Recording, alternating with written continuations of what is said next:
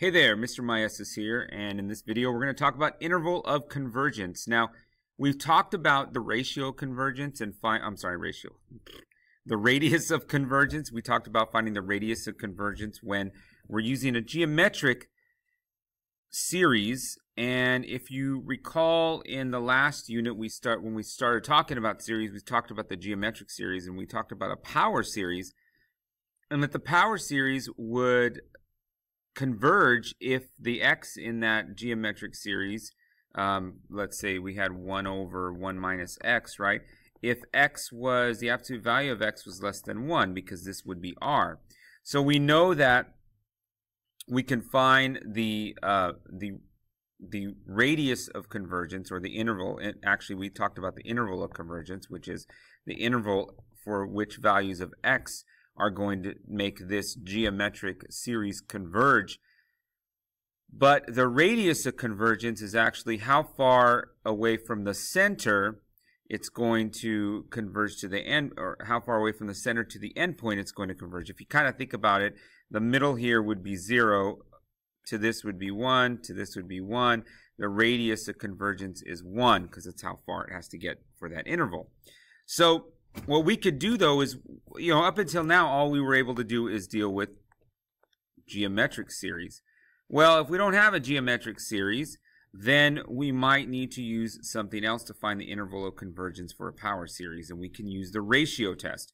We just covered the ratio test in the last section, so this is an application of the ratio, ratio test we can find the interval of convergence and the radi radius of convergence. So let's take a look at how we're going to use the interval test, um, the interval test, the ra ratio test to find the interval of convergence and the ratio of convergence. So let's take a look at our first example here. Now, what we're going to do is we're going to set up our limit in our ratio test, the limit as n approaches infinity. And remember in the ratio test is 2n plus 1, x to the n plus 1, over n plus. Now I know this is a power series because I have an x in it, and when I have an x inside this series, it's a power series, right? So times um, n over 2 to the n x to the n. Now, in order for this series to converge using the ratio test, this limit has to be less than 1. Um, if it's greater than 1, it's going to diverge. If it's equal to 1, then we don't know what to do. So we can set this less than 1, we're going to go and simplify.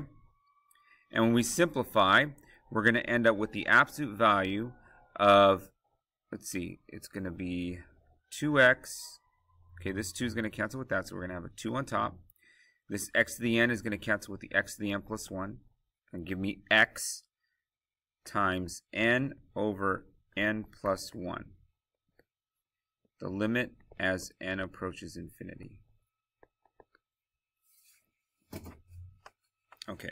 And if you don't know how I got that simplification, go look at the last video and take a look at how x to the n plus 1 equals really x to the n times x, and they simplify out. So now what's going to happen is this 2x here, guys, this, this absolute value of 2x is not really part of the limit because the limit is as n approaches infinity. So what I'm going to do is I'm going to take that absolute value out of the limit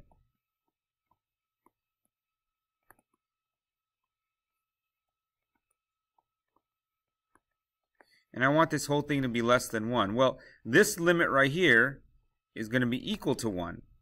So really what I have is the absolute value of 2x less than 1. What does that tell me? That tells me that 2x has got to be between 1 and negative 1. So if 2x is between 1 and negative 1, x has to be between 1 half and negative 1 half. So now we're gonna we're getting our radius or interval of convergence. So what we have to do is we have to check each endpoint because the endpoints might actually let us uh, converge. Like if we actually had x equals negative 1 half, will it converge or will it diverge? Because, you know, it might not necessarily be less than. I'll show you what I mean in just a second here. So we're going to go and check x equal negative 1 half. We've got to check the endpoints. So when I check x equals negative 1 half, I'm going to end up with. I'm going to plug that in here, and that's going to end up being um, 2 to the n times negative 1 half to the n over n, which can simplify out to uh, the 2 to the n is going to be on the bottom. It's going to give me negative 1 to the n over n. And this looks like an alternating harmonic series, right? So this is an alternating harmonic series which we know converges by the alternating harmonic series. So this alternating harmonic series converges, so that means this endpoint, negative 1 half, actually is still in that interval of convergence. Let me go and check x equals positive 1 half. Positive 1 half is going to give me 1 over n. And we know 1 over n is not alternating. This diverges. This is a p series, right? Diverges, it's a harmonic series. So since this diverges, x can't be equal to 1 half because it would diverge. So my interval of convergence is going to be negative 1 half to 1 half, inclusive and exclusive. What's my radius of convergence? Well, my radius of convergence is going to be, you know, what's in the middle here? Zero. Zero is right in the middle. And so how far is it to get to the endpoints? It's one half. All right. And we can find that, guys, but the radius of convergence can be found right here in this in this part right here. All right. When you divide this by 2, that's usually going to be your radius of convergence. Usually. We'll take a look at the next example. Okay, for some for for number 2, we have a different situation. Now, in general, when you see an n here and an n here, these powers are the same right there, right? So what we're going to do is uh, I'm actually going to change this to n equals 0 to infinity x plus 1 over 2 to the n. Now, since I have it all to the n power, this is actually a geometric series test, right? Where the r is x plus 1 over 2. So the r needs to be absolute value less than 1 by the GST. So I'm going to have x plus 1 less than 2, but greater than negative 2. So x is less than 1, but greater than negative 3. okay, so what is the, uh, if we put negative 3 in here, we're going to get, if we put negative 3,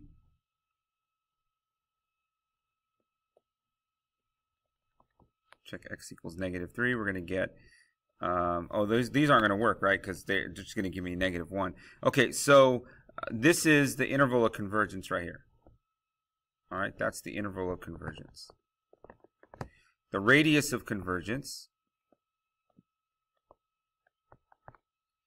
is, what is it? It is 2. And again, we found that we can find it right here. It's 2. Okay, let's go to the next one here. So that was one where we actually had to use the geometric series test, not the ratio test. So let's get back to the ratio test. n factorial x to the n. Oh, n factorial x to the n. We know we're probably going to use the ratio test anyway. That's what we would normally use in some tricky situation like this. So we're going to have limit as n approaches infinity, x, oops, n plus 1 factorial x to the n plus 1 divided by n factorial x to the n. And we want that to be less than 1. So this is going to get rid of this one there. And this is going to get rid of that one there. And we're going to have the limit as n approaches infinity of n plus 1 times x. And we would like that to be less than 1. So here's the problem, guys. Uh, if we plug in infinity in here, we're going to get infinity. Remember that the first one here, when we plugged in infinity, you know, we could take out we could take out the 2x, right? We could take out this 2x here, and we would be able to um, say that this oh this is 1. But we can't do that in this case because this is not going to be end up canceling out or anything. So this is only going to happen, only true, if x equals 0. That's the only way, because we're going to x equals 0, that's just going to cancel everything right away before we can even do the limit.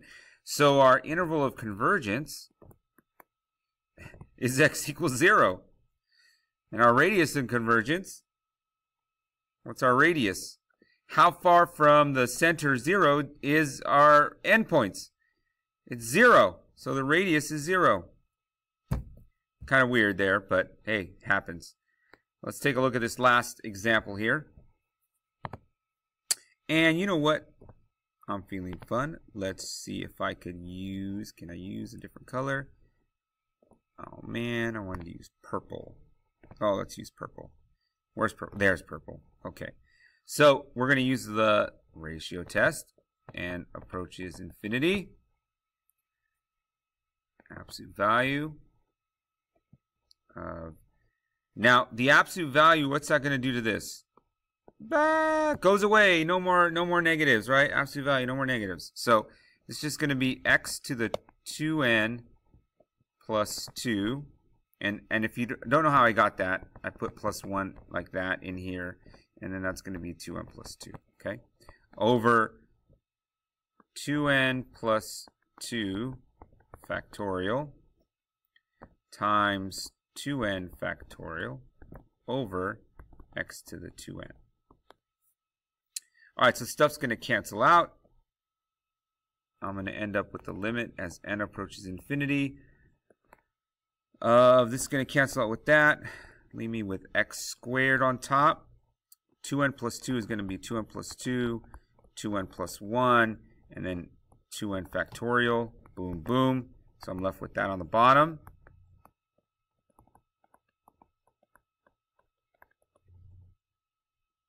I want that to be less than 1.